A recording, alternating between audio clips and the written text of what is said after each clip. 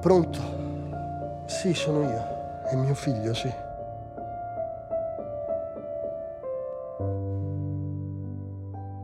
Renato è guasto.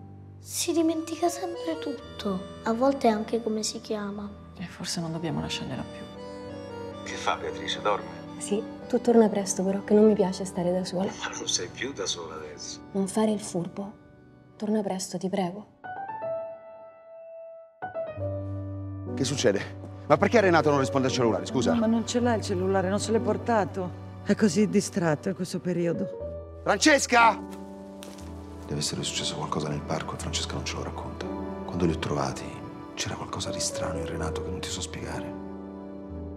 Abbiamo sbagliato tutto. Questi anni senza di lui sono stati orribili. Non si può costringere una donna a scegliere tra il marito e il figlio. E io ho scelto. Ormai mi sto abituando.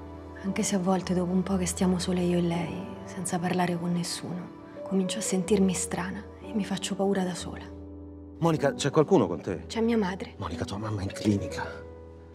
Per favore, dimmi dove sei, vengo a prenderti e torniamo a casa insieme.